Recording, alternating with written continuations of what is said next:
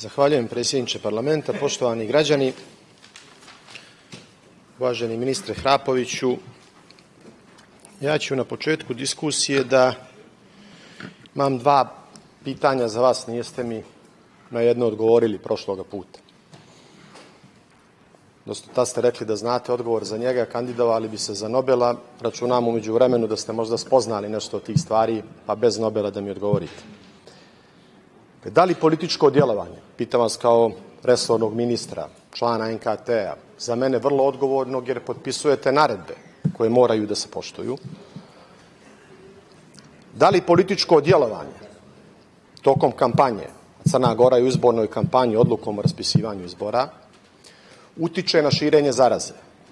I ko će u sistemu države institucionalno i personalno biti odgovoran ukoliko se ova pretpostavka ostvari.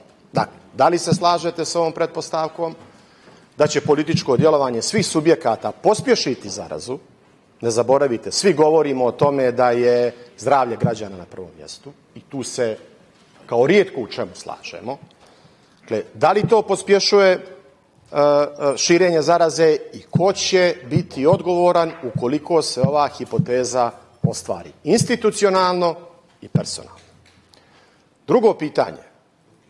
Ja nijesam od, od nekoga ko do kraja, pogledao sam naravno, ali držim da ima mnogo boljih u, u tumačenju određenih zakona koji su vezani za zarazne bolesti. Ali možete li vi da mi objasnite zašto je ministarstvo ili neki drugi organ u sistemu države, da ne bih pogriješio, raspi, uh, objavilo ili proglasilo epidemiju na 100, 200 ili 300 zaraženih, a koliko ja znam danas nemamo od nadležnih državnih institucija proglašenu epidemiju. Pa mi interesuje po kom članu zakona nekog je tada to urađeno i zašto je to urađeno tada, a danas recimo nemamo epidemiju. Negdje smo na nivou logike pogriješili. Ili tada kad smo proglasili epidemiju ili griješimo danas kad tu epidemiju ne proglašavamo, a imamo pet ili šest puta više zaraženih i značajno komplikovaniju situaciju. Levis, vrlo često kad govorimo o zdravstvenom sistemu, zdravstvenoj zaštiti, ja ću iz jednog drugog ugla da komentarišem ovaj zakon, mi govorimo, znate, o besplatnim ljekovima, o tome da nešto plaća država, da to ide na trošak države i tako dalje. Ne vama personalno, nego na nivou na nivou teze. Kažem da je to čista laž. Zato, zato što svaki građanin ove države koji radi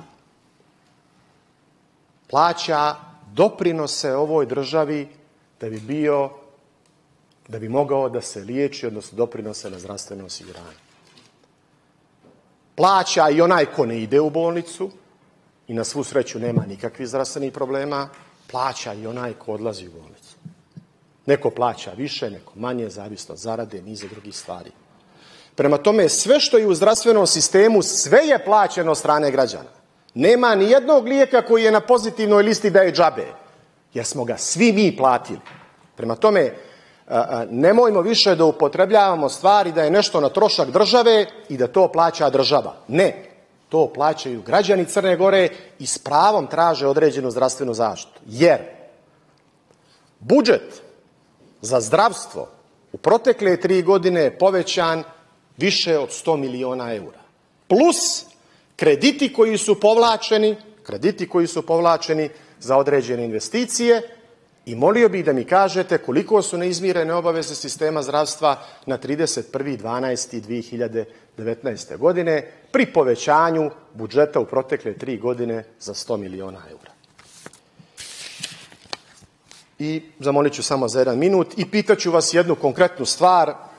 Generalno vas pitan da li mislite da u sistemu u kojem su uključene privatne bolnice i u sistemu u kojem su uključene privatne apoteke ima korupcije? Generalno pitanje, a daću vam primjer. U javnom zdravstvu, tačnije u opštim i specijalnim bolnicama i kliničkom centru Crne Gore od prošle godine fakture za bolničko liječenje obračunavaju se po DRG sistemu, vi to znate bolje nego ja.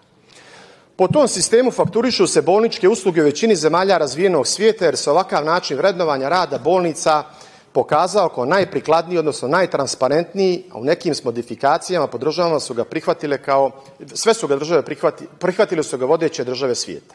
Izvorno je nastao u Australiji. Skraćujem radi vremena.